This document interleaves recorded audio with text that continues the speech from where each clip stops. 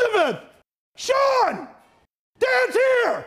Call it Alice training amplified to the max.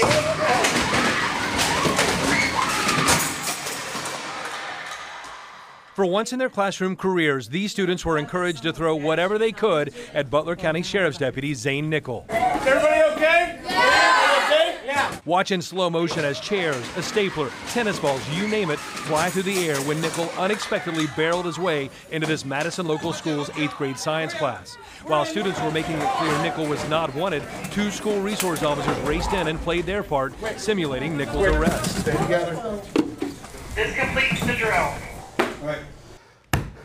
After the dust settled, Superintendent Lisa Tuttlehuff talked to students about the intense safety drill. What were your feelings? Scared. Scared? My hands are still shaking. Your hands are still shaking. We like all like trying to help each other. We were like.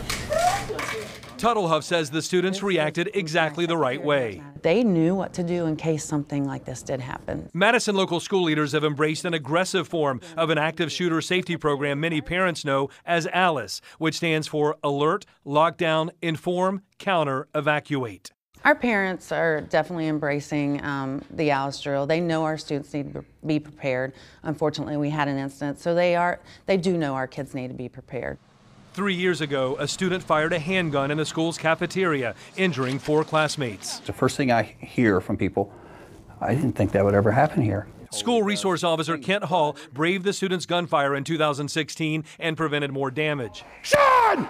He says drills like this one make it clear to students they can do whatever it takes to stay safe. This school has taken a, a proactive opinion, you know, and, and basically says we're going to fight if we have to. Elizabeth!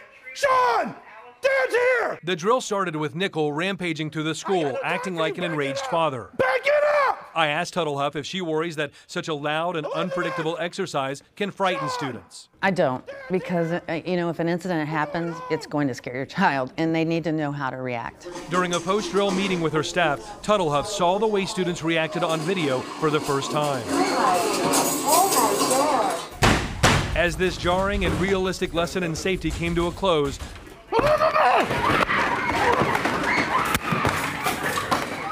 Tuttlehuff gave these students high marks. Nice job. Congratulations. I'm proud of you. We